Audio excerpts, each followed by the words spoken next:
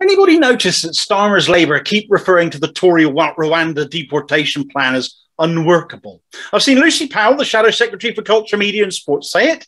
I've seen Yvette Cooper, the Shadow Home Secretary, say it. Last night on Question Time, Thangam Debbonaire, the Shadow Leader of the Commons, also said it won't work, but went one further by saying if the government really wanted to crack down on people traffickers, they could not cut the National Crime Agency, who do, amongst other things, work to crack down on people trafficking. But the one obvious thing that any government could do that Starmer's Labour just will not come out and say is provide the same safe legal route to people wanting to claim asylum here and are prepared to risk their lives to do it as we're currently providing for Ukrainian refugees. Beyond skin cover, color, what is the difference? If they're fleeing a war zone, they have a case for asylum, and it is their right to choose to come here and make that claim if they want to. The successive governments have chosen to try and stop them getting to our shores rather than help them is a disgrace.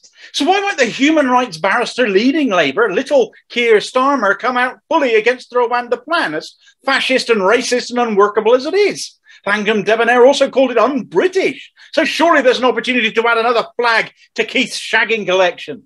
We know Starmer is a Blairite, and Tony Blair attempted something similar to this Rwanda deal back in 2004 with a desire to send Somali refugees to Tanzania for processing. His government were accused of offering aid to Tanzania in exchange for taking failed refugees off British hands. But unlike Rwanda, Tanzania turned the offer down. The Lib Dem leader of the day, Charles Kennedy, called it a very bad precedent for a global trade in displaced people. He called it what it was state sanctioned people trafficking. It's somewhat disturbing that Starmer won't take a strong position on this. Now, that might be because he doesn't take a strong position on anything, which is true. But given he surrounded himself himself with so many relics of the Blair era, his dishonesty, lack of integrity, it feels like unless he does come out ardently against it, it's just as believable that he supports these deportations, and Labour under him would do it as well.